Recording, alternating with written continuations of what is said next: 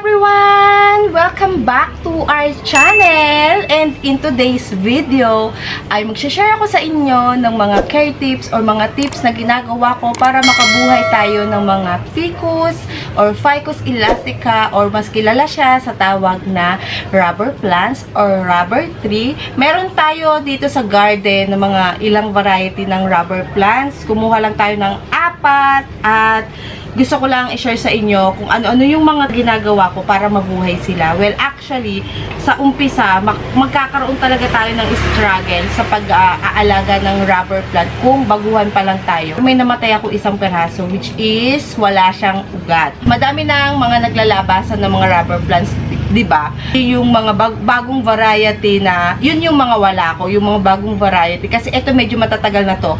Naka-isang taon na, may inabot na dito ng magdadalawang taon. Nasabay, ay hindi ko ito pala, ito, ito, minarkot ko to. So, isa-share ko din sa inyo kung paano mag-markot. Ayan, minarkot ko siya. Isang stem lang siya before na dire-diretso. And then, naging dalawa na siya. Share ko din sa inyo yung mga potting mix na ginagamit ko. Um, sun exposure. Actually, madali lang talaga. So, may mga nagre-request sa akin kung paano ko sila alagaan kasi madalas ko silang ipakita pag nagdidilig ako or nag-iikot ako dun sa likod kasi yung mga rubber plants ko, nakalagay sila dun sa taas. Taas, full filtered sun pero maano na siya, mainit pa din. So, carry na yon kasi etong ating mga rubber plants naman ay matatagal na at pag magpapaaraw kayo sa matagal na araw, for example, 6 to 7 or 5 to 6 hours a day ng mga rubber plant, make sure na established na sila. So, etong mga isa-share ko sa inyo, ilalagay ko lang dito sa kanila. Meron ako ditong compactum, ay, sorry, ayan, compactum, um, white tineke, ruby, o red tineke. And then, meron ako ditong black prince. Ito yung pinaka unang-unang rubber plants na nagka-meron ako. Ayan, bigay lang din to sa atin. And, ilagay ko kayo dito sa gilid para makita nyo maigi yung ating rubber plants. Dito ko lang. Yung ating tinek, ay, ano din din pala. Ah, minarkot ko din pala tong tineke natin. So, eto, alin pa ba yung di ko minamarkot? Itong compactum. Kasi before, pakita ko lang sa inyo ah Before kasi, yung ating compactum, maliit lang siya hanggang dito. So, sabi ko, saka ko na siya imamarkot pag medyo tumaas na, pag nakuha or na-achieve ko na yung taas na gusto ko, saka ko siya imamarkot. Ayan o, at mataas na siya, so kailangan ko na siyang imarkot. Dito muna siya sa gilid. Ito namang ating white teneke na to, na-markot na siya. Ayan. Kung makikita nyo, isang stem siya kasi ito po yung top cut. Yung pinaka ano niya, pinakababa niya, binigay ko na yun sa tita ko. Ang itinira ko dito, dalawang top cut, isang baba. So, bali, dalawa kasi yung aking white tineke. Sad to say kasi, yung isang minarkot ko na mababa, namatay siya nung isang araw ko lang napansin. Para siyang nagalaw. Ibinaba ko kasi and then nagalaw-galaw siguro yung may mga nagtatakbuhan dito. Namatay siya. Hindi ko masabing patay talaga kasi nalalagas yung dahon pero parang papunta na rin siya doon. And then etong si Ruby Tineke. Ayan, ang ganda ng ating Ruby Tineke. Ayan, dalawang stem na siya. Pag medyo tumaas-taas pa ulit ito, imamarket ko na ulit para mag multi-branches sila. At least dito, pagka-market ko, ay may lumabas pa ulit na isang stem tapos dito sa kabilang gilid may lumabas ulit. Tingnan nyo, oh, ayan. Katulad din dito sa kabila, yung sa Black Prince ko. Wala akong special treatment sa kanila na ginagawa before or pagkabiling pagkabili. Ito, dito muna tayo sa, for example, bumili tayo sa isang seller or sa garden shop. Hindi natin alam kung may ano yan, ugat or cuttings pa lang. Kasi meron kasing mga seller na hindi natin maiiwasan na sasabihin nila na established na yan, stable. Kasi meron ako isang nabilhan na ganun eh. And then paghugot ko, wala pala siyang ugat. Hinugot ko siya nung time na patay na siya. Yun yung unang-unang namatay ko na rubber plant. Pag bibili kayo ng rubber plants, huwag nyo muna silang iriripat agad-agad. Ilagay nyo muna sila sa isang tabi na hindi maaraw, basta mahangin. Pag nakitaan nyo na sila, for example, naka 2 weeks, 3 weeks na sila dun sa area na pinaglagyan nyo, pag yan po ay nakitaan nyo na ng isang dahon, dalawang dahon na bagong tumubo, yun yung time na po pwede mo na silang iripat. Isa pang technique pag magre-ripat kayo, pabukahin nyo muna yung nasa gitna. For example, ito, si white tineke. Pabukahin nyo muna yung nasa gitna. Ito guys, kakabuka lang neto. So pag ganito na yung buka niya, saka nyo siya iripat. Pag maliliit pa lang or maliit pa lang naman yung bagong sumusunod na tumutubo na yun, pwede nyo na silang iripat. Pero pag ganito guys, na yung pabuka na talaga siya, may dahon na siya, nakikitaan na natin ng dahon hintayin nyo munang bumuka, saka nyo siya iripat agad-agad. Kasi, yung dahon na yon mapupuspon yung paglaki. Tapos, kung bumuka man siya, ano siya, yupe, parang hindi maganda. So, yun lang yung technique ko sa pag-ano sa kanila, pagre-ripat. Hinihintay ko muna na maka isang buwan at least nga dito sa akin or dalawang buwan. Kasi yung ibang, ano, mga rubber plants, matagal sila magdahon. So, pag hinihintay ko na makadalawang dahon sila, yun yung time na i-ripat ko na. Pag hindi pa, at nakita nyo na malungkot, hayaan nyo lang sila. Or, balutan nyo sila ng plastic para mag-moist or para magkaroon siya ng additional na dahon. Or, makapaglabas uh, siya ng bagong dahon. Minsan kasi ganun eh, pag malungkot yung kanilang dahon habang pinapa-establish natin dito sa lugar, balutan nyo po siya ng malaking plastic na puti, wag itim ha, puti, para at least maliwanag pa din. May moisture sa loob tapos may liwanag pa din silang nare-receive.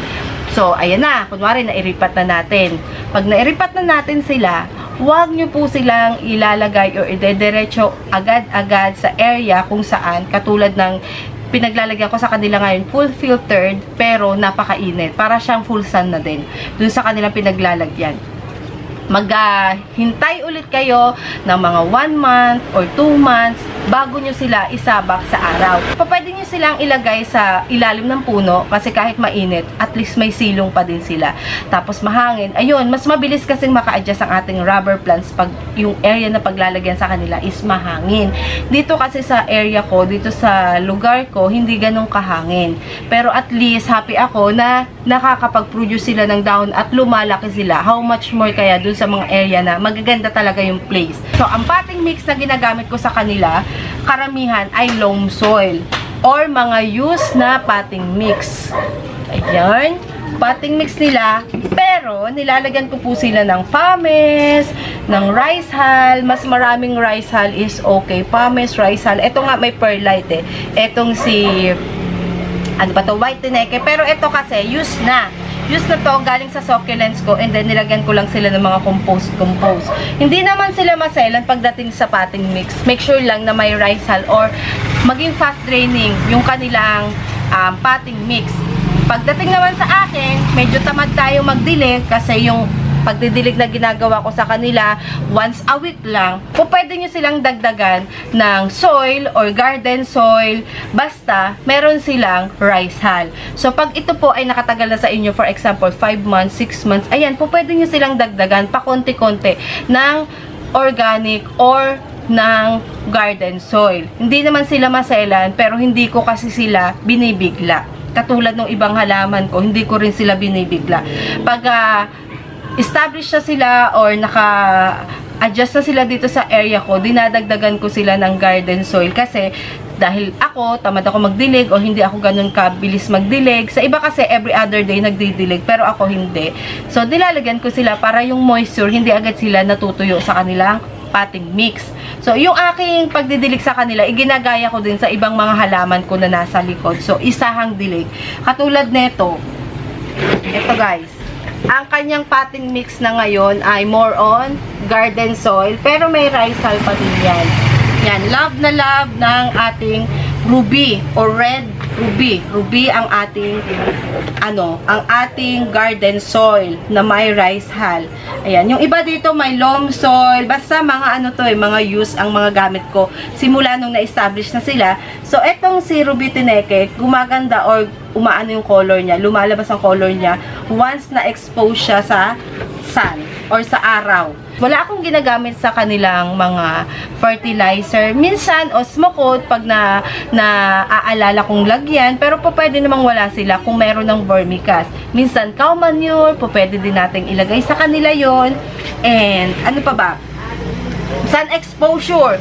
Yun nga, katulad ng sinasabi ko sa inyo, huwag nyo silang bibigilain sa init ng araw kung kakabili pa lang nila or bago pa lang sa pwesto nyo, dapat ilagay nyo sila sa area na mahangin na walang gaanong araw or naka-bright light sila para hindi ma mabubulok ang dahon nila. Kasi, ganito yung example ng nabubulok ang dahon pa konti-konti. Ayun o, ayan. Ito naman, hindi naman siya nasunog ang dahon. Hindi ko lang alam kung bakit nag-brown yan. Pero matagal na to. Siguro naka mag-iisang taon na siya na nandyan. Ayan. Siguro nabigla siya nung time na inilipat ko siya sa taas. Kasi, etong mga to, sabay-sabay ko silang inilipat sa taas. Sabay-sabay ba? Yes, sabay-sabay. Tapos yung araw nag-iiba. For example, Burmans ko sila inilagay. So, nung mga bandang summer, example lang to ha, Burmans ko sila nilagay. So, kahit maaraw, malamig. And then, yung mga bandang summer, umaano na sila, um, sumusobra na yung init, which is, na ninibago sila. So, nanibago sila sa ganon wala naman silang mga fungal infection. Alam nyo ba, yung mga rubber plants na nagkakaroon lang ng aphids or mealybugs ay yung mga nasa kulob na area ng pinaglalagyan nyo. Kaya po, ang mga rubber plant ko ay inilagay ko dun sa taas kasi napansin ko yung isang rubber plant ko na nasa isang sulok lang, nagkakaroon siya ng parang mealybugs, yung puti. So, yun po ang dahilan kung bakit pinagawan ko sila ng rack para doon sa taas, nandun sila. So, ngayon, etong mga to guys, nagiging puno. So, kung meron kayong maraming rubber plants at nagbabala kayo na ilagay siya, for example, sa harap ng bahay nyo, naglagay kayo ng mga rubber plants, doon lang sa mga hindi nakakaalam ha, ang mga rubber plants po ay nagiging puno or balite. Balete or balite. Balite kasi sa amin, so balete. Yon Huwag nyo silang itatanim ng hile-hilera na nakadirect sa lupa. Kasi katagalan, baka magsisi kayo na hindi nyo ina-expect na nagiging puno pala yung ating mga rubber plants. So, ito maganda siyang gawing puno, no? Ayan, itong puti at saka itong sirupi. Ito kasi before, sa totoo lang, ayaw ko ng mga rubber plants. So, nung time na may nagbigay sa akin ng rubber plant, na ito nga si Black Prince, makita ko sa inyo si Black Prince. Ito yung dahilan kung bakit may mga rubber plants tayo dito. Ayan, no? May nagbigay sa akin yan. So, minarkot ko na rin yan, guys. Ito, oh, pinutol ko. Kita nyo ba? Yan. Pinutol ko, and then may lumabas dito. And then, may lumabas dito. So, pag medyo tumaas-taas na yan, ito namang dalawang to yung imamarkot ko para may lumabas ulit. Maging puno na talaga sila or puno na nakalagay sa pot. Wala akong balak na ilagay sila sa labas ng bahay at itanim direct sa lupa kasi for sure ako guys, magiging puno yan.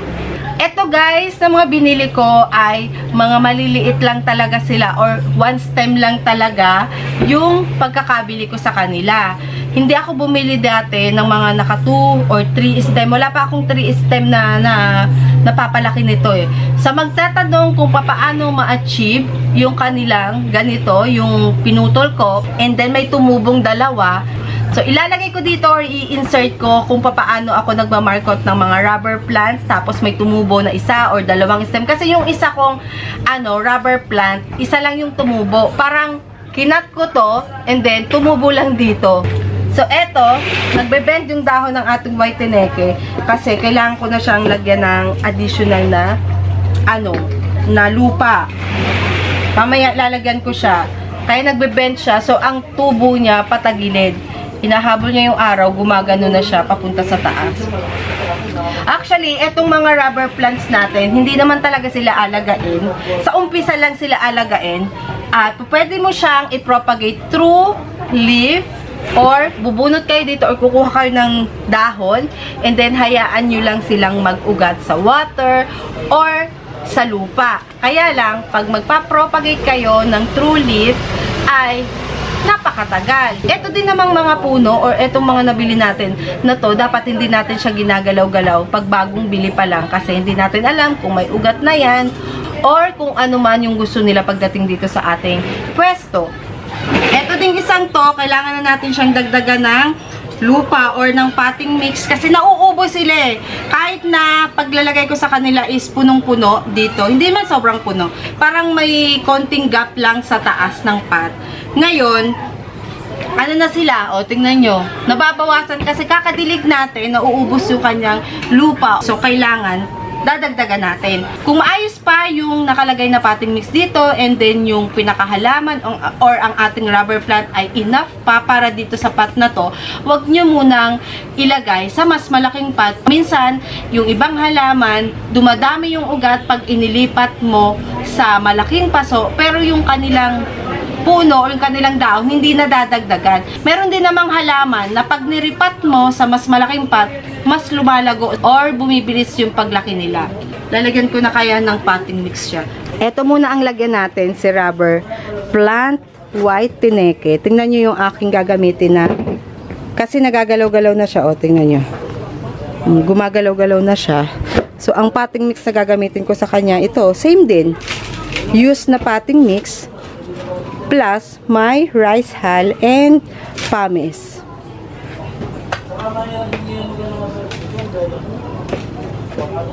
pumice.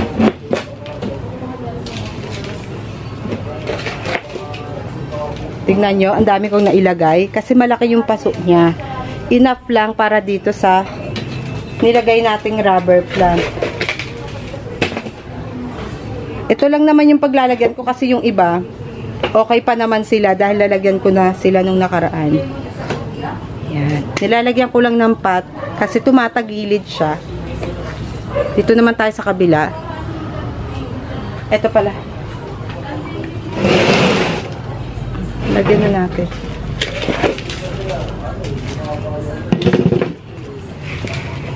Kaysa itapon natin to, actually dapat ito papamigay ko din doon sa harap ng bahay. Kaya lang hindi ko kasi kaya, hindi ko mabuhat. So ubusin na lang natin. At ilagay natin doon sa mga nauubos na yung potting mix. Pinunong-puno ko na kasi bababa pa naman yan pag diniligan ko bukas. Bukas ko sila didiligan. Yung isa lagyan na din natin. So, yun guys, ang ating video for today dito sa ating mga rubber plants na ipinakita ko sa inyo. So, yung mga, kung masipag kayo, yung mga dahon-dahon yan, po pwede nyo silang i-wipes.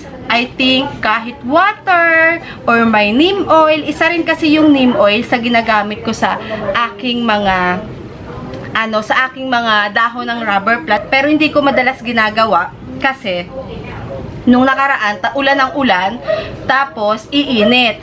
So magandang ilagay yung neem oil pag hindi gaanong mainit. Yun kasi ay oil. So pag yun po ay naarawan, masusunog yung dahon. Nakakatulong din siya kasi pangpuksa din naman yung neem oil.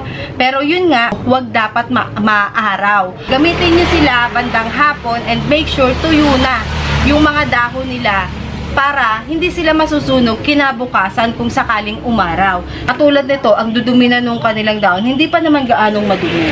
Pero makikita mo, may mga white spots sila dyan kasi inaanuan ko rin sila ng water na may dishwashing soap and vinegar. Yan yung mga white white spots dyan kung ano-ano yung ginagamit ko, yung mga pinapadala sa akin ng mga seller or ng mga viewer, ginagamit ko talaga sila dito sa ating mga halaman. Etong ating mga rubber plants, once na na-markot mo na, maganda kasi siyang tingnan pag multi-branches, ba diba? So, etong mga yayamanin pots, eto kasi, meron ako mga plant stand doon, hindi ko pa nagagamit yung mga plant stand ko, and ang gusto ko, pag medyo malago na sila, magpapasok ako ng at least isang isang puno ng rubber plant and then nakalagay siya sa mata sa plant stand. Ang ganda kaya pag may may rubber plant sa loob ng bahay, no? Kung meron kayong malaking space sa loob ng bahay nyo, maglagay kayo neto. Maganda siya, pero yung ilalagay nyo, dapat established na.